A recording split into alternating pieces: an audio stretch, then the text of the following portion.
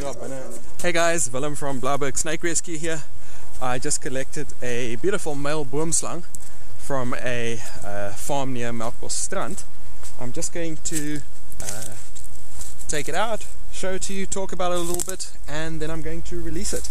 Uh, this guy was busy raiding a bird's nest outside the homeowner's window, um, and they noticed it and they kept an eye on it while they waited for me to arrive.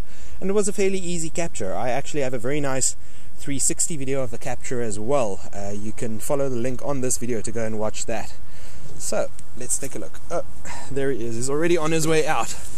Now, boomslang are known to get out of the bucket on their own like that. I'm just going to keep him there just so you can see him.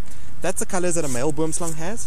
As you can see, it's black on top, yellow on the belly. The females are brownish on top, and they're uh, more creamy white on their bellies. Uh, these snakes are very quick, and um, they're very agile in the trees as well. You see, there he goes. And like all snakes, even though it's very venomous, it doesn't want to have anything to do with the humans. It just wants to try and get away. If you notice a snake in your home or on your farm or in your place of business, please don't try and catch it yourself. Please don't harm it. Rather call me.